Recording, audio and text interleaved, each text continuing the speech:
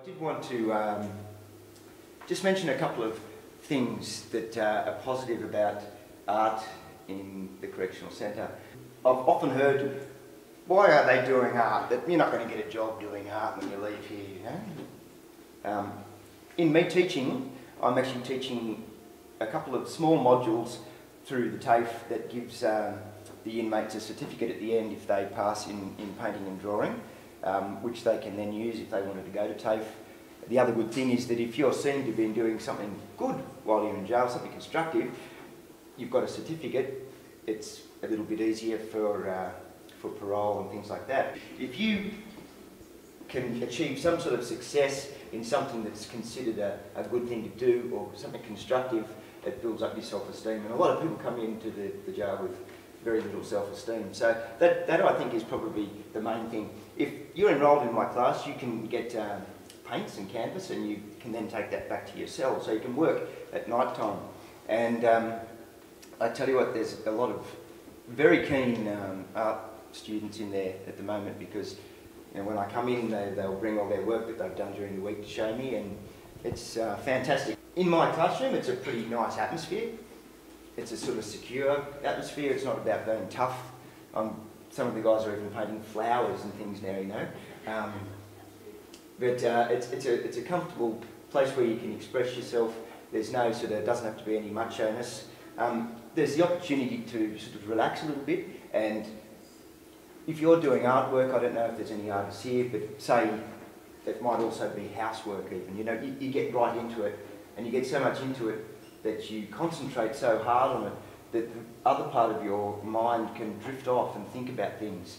And in this case, that, that provides a, a chance for some self-reflection. Um, with painting in general, you, you're using techniques, you're learning techniques, yet you've got some sort of uh, a meaning often behind it, the context of, of your work. And in the situation that the, the gentlemen are in in jail, they're probably painting things that are personal experiences to them, and often not. Uh, I watched a, a, documentary on Alcatraz uh, a few weeks ago, and there was one prisoner who said he did a lot of painting in his cell. And he said when he was painting the Swiss Alps, he was there. You know, he, he felt that he was there, and he forgot for a short time that he was um, in his cell. So there's that sort of benefit as well. Um, family is another thing. If you, I find it with the I think sometimes they feel like they can't do anything in return for me and I'm giving them something but they've got nothing to give back. Uh, it's probably the same when your family comes to visit you. But some of these uh, uh, painters, they're doing little artworks and they're allowed to send them out. So they'll do paintings of their children or of their wife, things like that, and they can actually give it as, as a present.